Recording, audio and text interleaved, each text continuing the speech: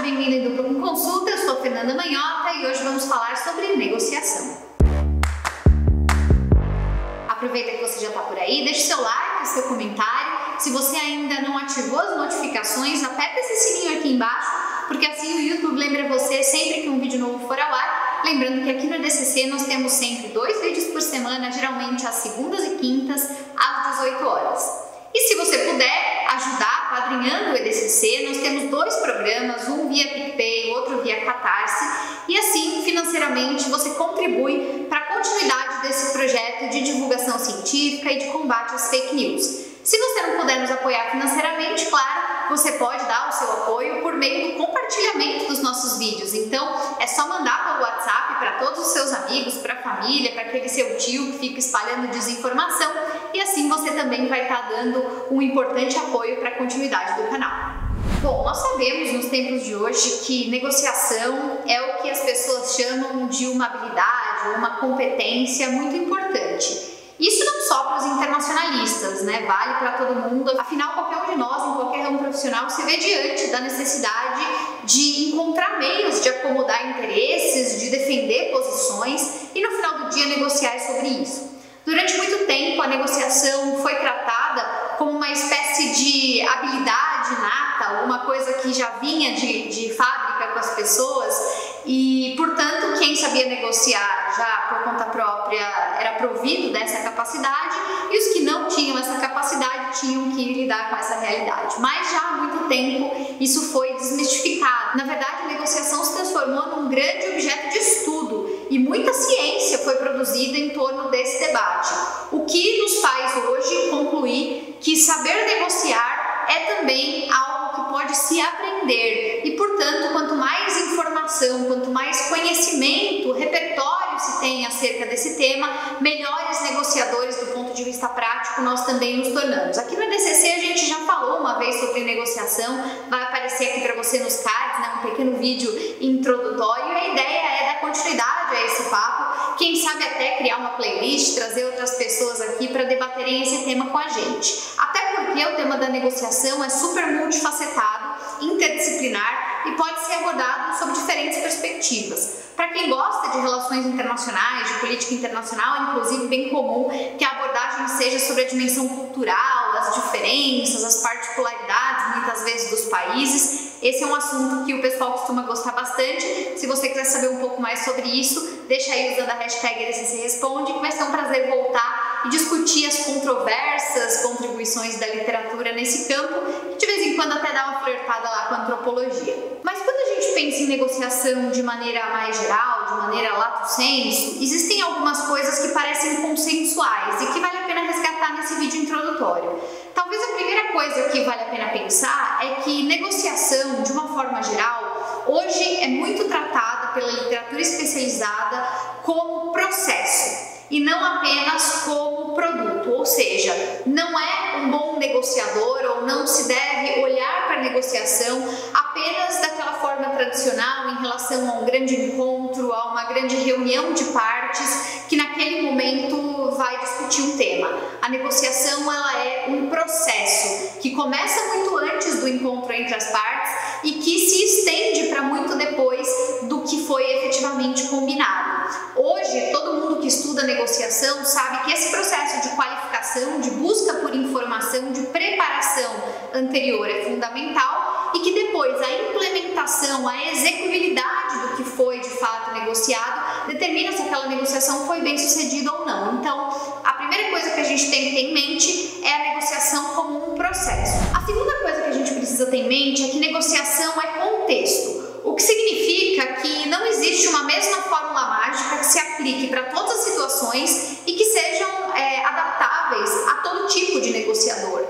É muito importante no processo de estudo de negociação aquele bom e velho mergulho de autoconhecimento, até para que a gente entenda um pouco de qual é o perfil que se adequa mais ao nosso estilo como negociadores e de que maneira nós temos então condições de flexibilizar esse estilo diante das avaliações contextuais que nós fazemos. A avaliação contextual inclui uma adequação da parte de quem e também uma certa sensibilidade para conseguir identificar o que está em jogo. A gente costuma dizer no campo da negociação que negociação é uma espécie de grande valsa, um grande flerte, em que o desafio principal do negociador é identificar as narrativas ditas e não ditas pela outra parte, tentar, a partir disso, decupar, decodificar o que para aquela parte é importante e conseguir fazer ofertas também algumas concessões que possam, de maneira direta, afetar os interesses que estejam em jogo. E, portanto, você precisa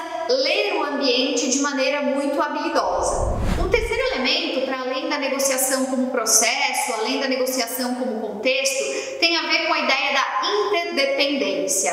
Cada vez mais é comum tratar na literatura que versa sobre esse tema a ideia de que aquele bom e velho sistema antigo de jogo de soma é, zero, a ideia de competição, tem caído por terra. E no lugar disso, as negociações elas têm sido substituídas por uma perspectiva que trabalha as trocas como inseridas num contexto em que geralmente as partes é, dependem umas das outras, elas continuarão em contato umas com as outras e, portanto, elas devem se reconhecer como necessariamente interdependentes. Isso, inclusive, é a base que distingue as duas principais escolas do campo de negociação que existem né, e que estão consolidadas hoje. De um lado, um grupo que advoga em favor da chamada barganha distributiva e de outro lado nós temos o grupo esse majoritário hoje que é o pessoal da chamada negociação integrativa. O pessoal da barganha distributiva remete a essa noção da soma zero, a essa noção de negociação como competição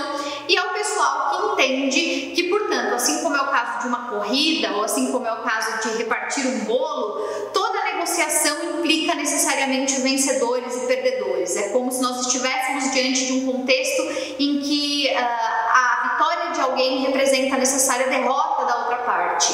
Esse grupo, durante muito tempo, foi muito vocal no campo da negociação, hoje ainda é muito discutido, mas cada vez mais com ferramentas e métodos ligados à barganha de valores, a negociação de preço, por exemplo. Então, essas ferramentas são úteis nesses casos em particular. Mas para negociações mais complexas, inclusive sociais, políticos, que não versam apenas sobre uma espécie de leilão de valores, cada vez mais o grupo da negociação é, integrativa tem sido é, mais numeroso. Foi, aliás, a partir das discussões de negociação integrativa que se desenvolveu um dos principais centros de produção de conhecimento nesse assunto no mundo, que é o POM, Program on Negotiation, que foi originalmente concebido dentro da Law School da Universidade de Harvard e que até hoje é um dos principais polos de produção de saber a esse respeito. Então, se você quer saber mais sobre negociação e negociação do tipo integrativa,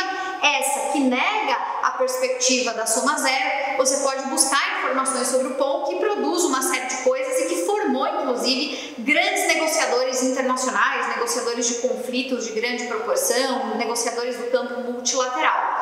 Os negociadores dessa perspectiva, né, da teoria da é, negociação integrativa, eles trabalham com a ideia de que não é necessário interpretar toda troca como uma necessária competição, um jogo de soma zero. Ao contrário, a ideia é pensar em uma soma positiva, ou seja, entender que a negociação é um espaço de criatividade em que muitas vezes você precisa trazer à mesa coisas que sequer estavam sendo discutidas num primeiro momento, mas que podem atender às necessidades, às demandas daquele negociador em particular. As técnicas ligadas à negociação integrativa são muito mais complexas e elas perpassam desde design thinking, é, discussões sobre uh, geração de novas ideias e muitas vezes o envolvimento de terceiros que a princípio nada tinham a ver com a negociação original. Então, uh, num primeiro momento, para quem está chegando no campo de negociação, vale a pena reconhecer e distinguir essas duas escolas, porque elas são hoje o que ainda tem de mais relevante, o que mais tem, tem enfrentado uma disputa. Inclusive, é a partir do ponto que surgiu o método Harvard, e o método Harvard que é baseado num livro né, publicado uh, para leigos, digamos assim, numa linguagem muito simples, pelo professor William Ury e o Roger Fisher, aquele livro conhecido, talvez muitos já tenham lido, Como Chegar ao Sim, né? Esse livro trabalha cinco pontos principais que, de acordo com a perspectiva integrativa do jogo de soma positiva, é, se deve cumprir ou seguir para efetivamente conseguir ser melhor negociador. Esse método em particular, o método Harvard discutido no livro, ele é orientado a partir de cinco princípios. Eles todos giram em torno de uma ideia central, que é o que o Pom defende, a ideia central de que toda boa negociação ela tem que ser objetiva e ela tem que ser eficaz, né? Sempre até uma máxima um pouco anglo-saxã padrão norte-americana, né? Eles têm esse estilo negocial em geral e o método Harvard desenvolvido por esses autores tem em grande medida essa preocupação.